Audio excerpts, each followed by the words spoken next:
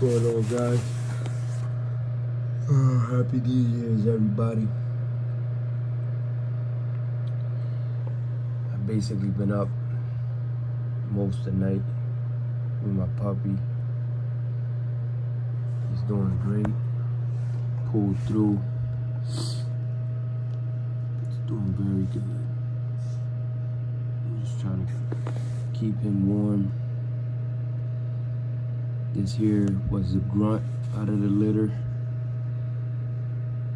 This was one of the puppies that the mom didn't want to take care of.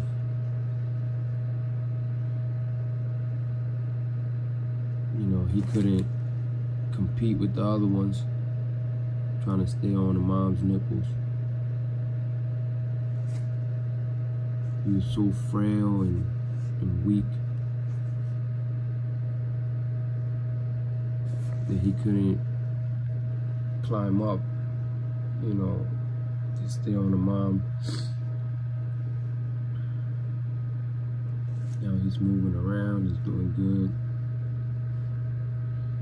This is something that I had to throw together the last minute last night. I just created a barrier here out of whatever I could grab.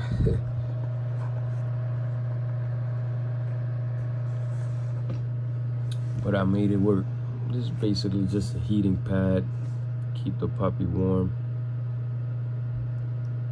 And I just threw some stuff together real quick to keep the puppy from rolling off. I got the temperature on medium.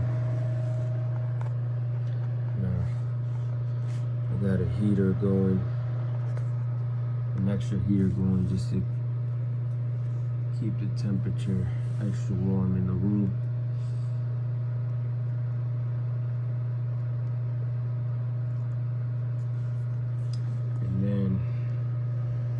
Did was I heated up some milk, put it in a syringe,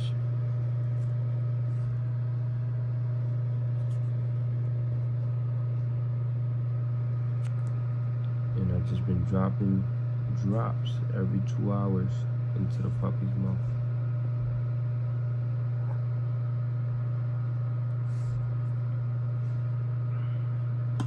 This is what you have to do when you have a grunt in the litter that the mom basically thinks is gonna pass away.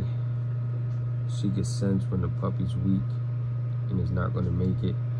She just kind of throws him off and doesn't want to bother with him. So that's when you have to step in and take over. You gotta make sure you keep the puppy warm and do the feeding.